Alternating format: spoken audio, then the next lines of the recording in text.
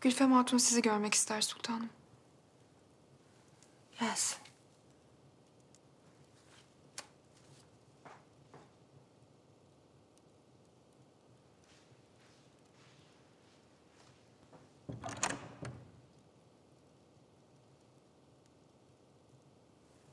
Sultanım. Sizi merak ettim. Geç Gülfem otur.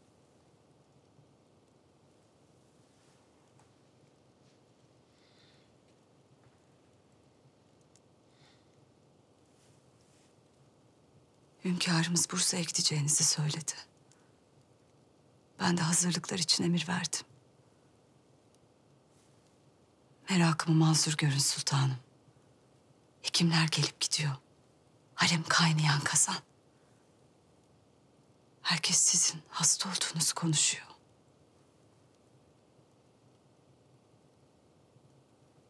Herkesin bildiği şeyi senden saklayacak değilim. Hasta olduğum doğru. Hayli ilerlemiş. Hünkârımız deva arayışında. İnşallah bulacağız. Hay Allah. İnşallah ciddi bir şey değildir. Allah bilir. Kimse ne olduğunu anlayamadı. O yüzden aramızda kalsın.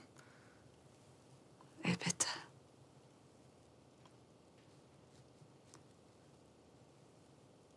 Sizin için yapabileceğim bir şey var mı? Harem. Sana emanet Gülfem. Bu vakte kadar vazifeni hakkıyla yaptın. Bundan sonra da aynısını beklerim.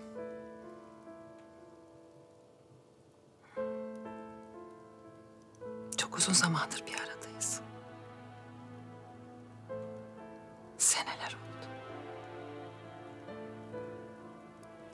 Maziye dönüp bakıyorum da. İyi günümüzden çok kötü günümüz olmuş seninle. Kavgalar, münakaşalar. İnşallah zihninden hepsi silinmiştir. Benden yana bir kırgınlığın kalsın istemem. Sultanım, neler söylüyorsunuz böyle veda eder gibi? Yoksa Allah gecinden versin. Hastalığınız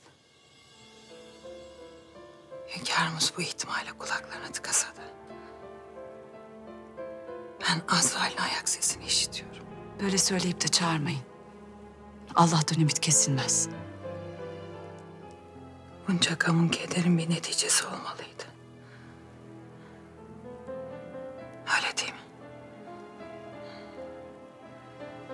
Döktüğüm kanın,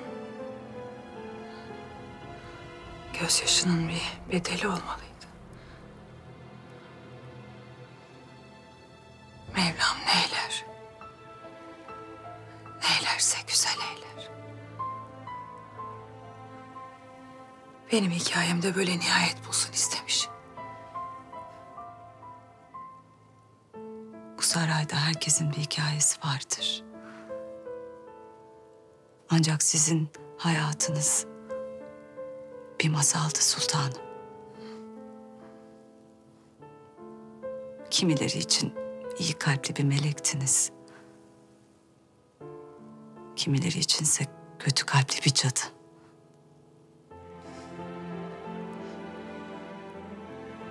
Her masalın da bir sonu var. Hepimiz faniyiz. Hepimiz. Günün birinde göçüp gideceğiz.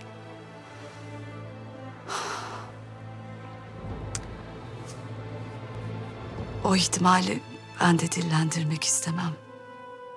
Lakin vaziyetiniz dediğiniz gibi ise benden yana hiçbir kırgınlık ve üzüntü kalmayacak. Emin olun.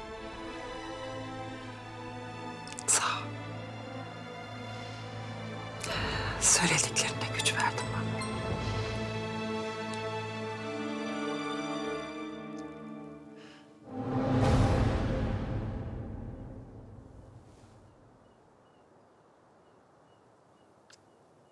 Ey benim gülen yüzüm.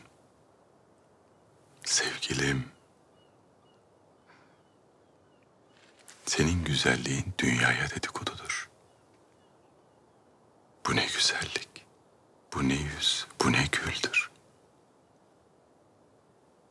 Acaba saçın amberi görüp mü mis kokulu olmuş?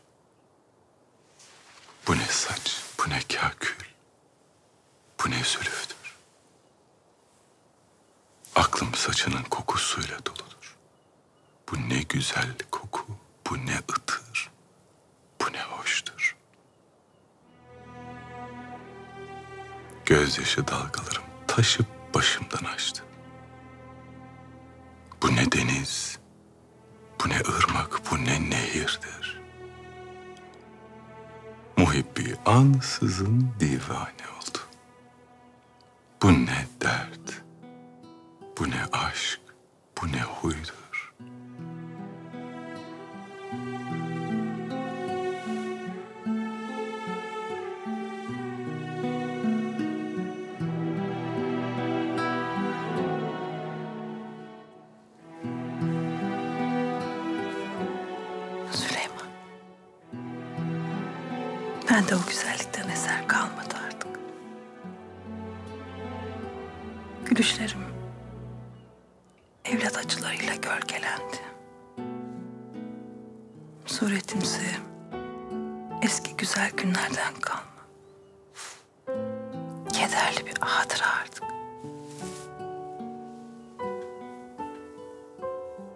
Sen benim aşk şarabımsın Hürrem.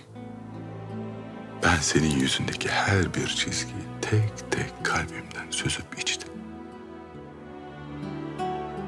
Geçen her gün senin kıymetine kıymet katacak. Ben sana hala her baktığımda Rutenyalı o hırçın, gözünden ateş, ağzından hayat fışkıran cariyeyi görüyorum. Ve Rabbime şükrediyorum seni bana bahşettiği için.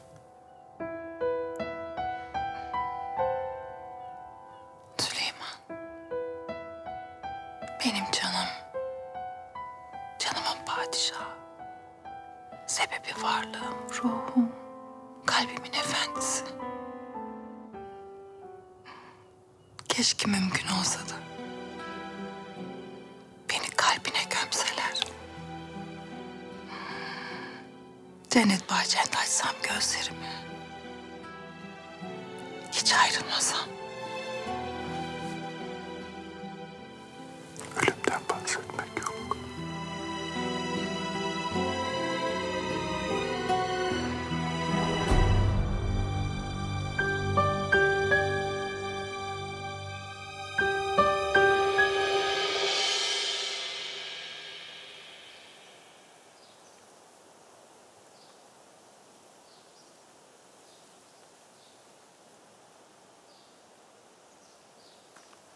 Vakit kaybetmeden tedaviye başlayacaksın Hürrem.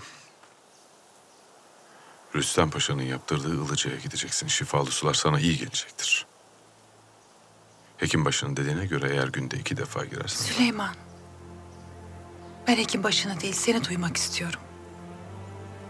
Bana en iyi gelen şey sensin.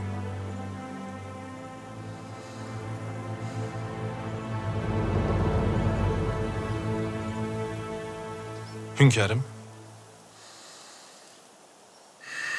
Söyle Ferhat. alime kadın Hürrem Sultanımızı bekliyor. Ilıcı hazırmış. Hala çekilebilirsin. Bir an olsun yanından ayrılmak istemiyorum. Buraya kadar geldik gitmek lazım. Bursa bana şifa olur mu bilmiyorum. Lakin sana olacaktır Süleyman.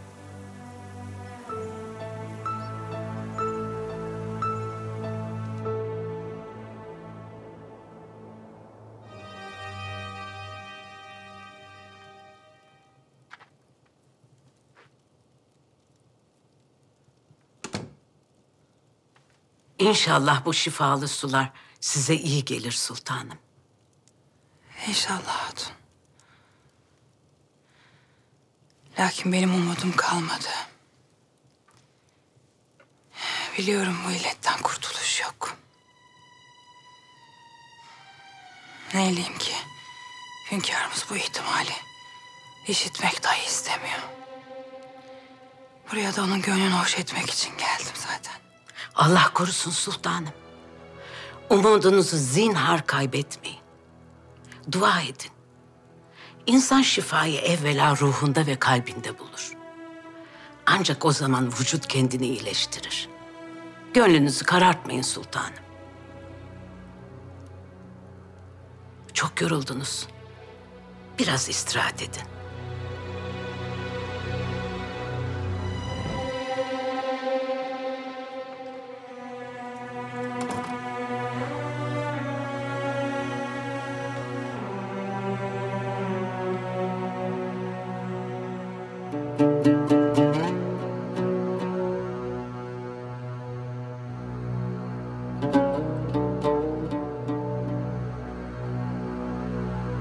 Hürrem.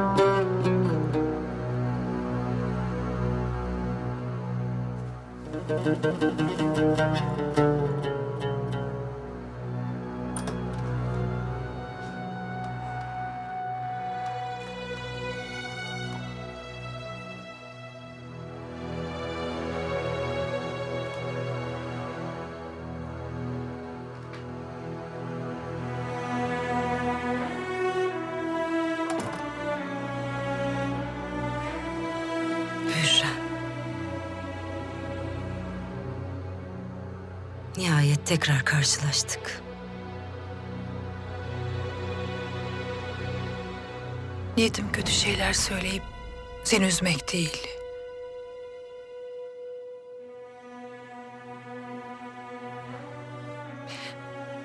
Ben Sen beni üzebileceğini mi sanıyorsun artık?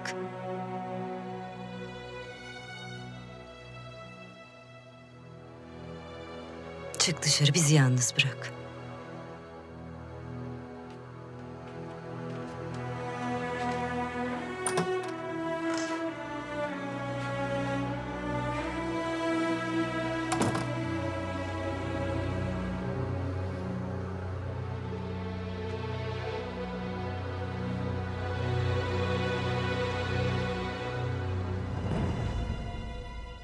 Geldin. Çünkü beni bu halde görmek istedin. Eserini görmek istedim. Elin konu sallayarak girdin saraydan değil mi? Tabii buraya artık saray denirse. Garibim Yusuf'tan, emektarım Fidan'dan gayrı kimsem yok. Olmasın da zaten. Ne kadar gurur duysan az. En büyük düşmanının sefil bir hayatı var artık.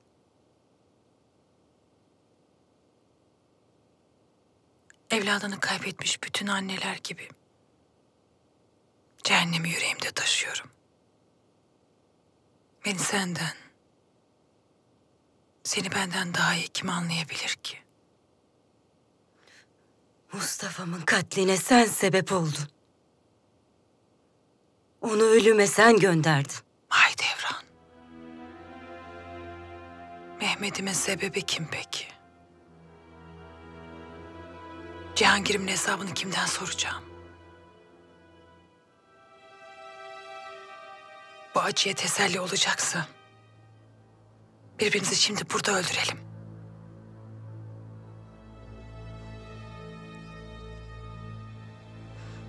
Neden buradasın Hürrem?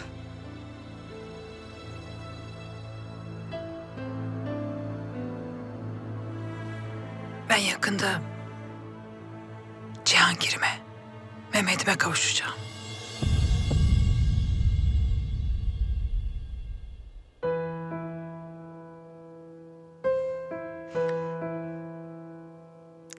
Zerre kadar hakkım olmadığını biliyorum.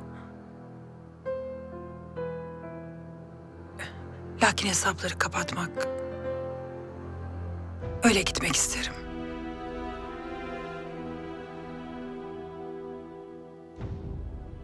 Mahidevran. Ben buraya senden helallik almaya geldim.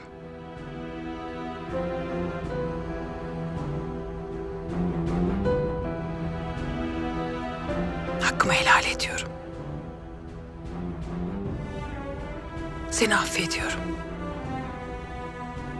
Ne günahın varsa hesabını yüce Rabbime verirsin.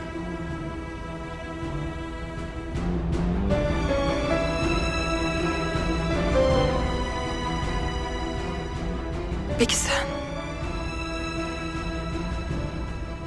Beni affedebilecek misin?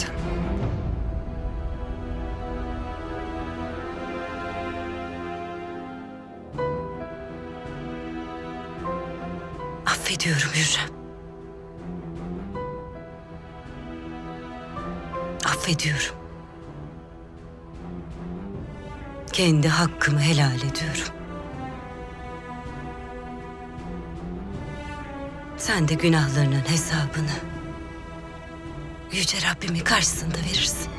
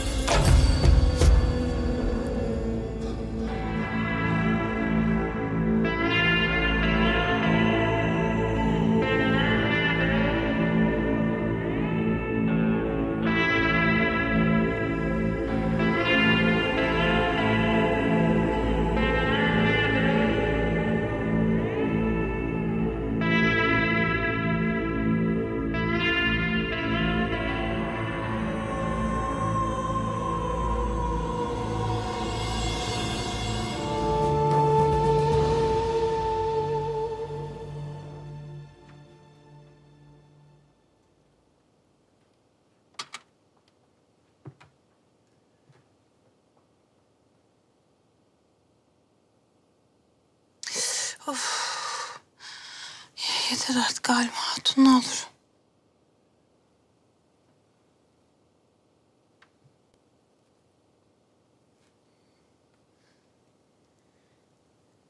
Halim Hatun.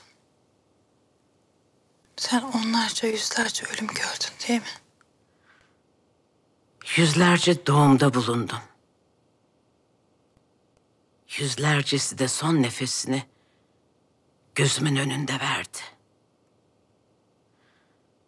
Allah'ın takdiri benim için de buymuş sultanım.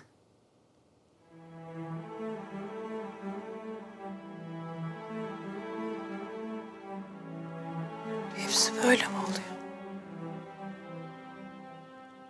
Cihangir'imle Mehmet'im de yaşadı mı bütün bunlar? Ölümün adımızı söylediğini işitti Bilmiyorum sultanım. Onca ölüm gördüm. Lakin manasını canımı vermeden anlayamayacağım. Bir şeyi merak ediyorum. Herkesin ölümü kendi rengindedir der Rumi Hazretleri.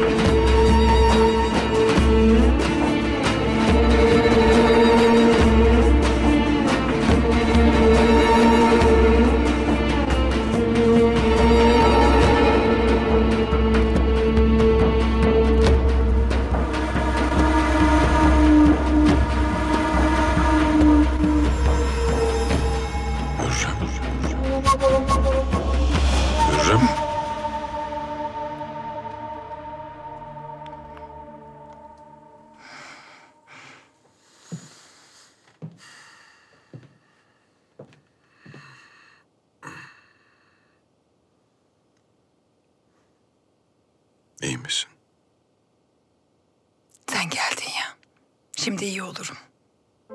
Merak etme. Bir rüya gördüm yalnızca. Hayırlar olsun inşallah. Süleyman. Günlerdir bu odaya kapanıp kaldım. Allah aşkına biraz bahçeye çıkayım, hava alayım. Sen de gel, birlikte biraz yürüyelim. Madem öyle istiyorsun olsun.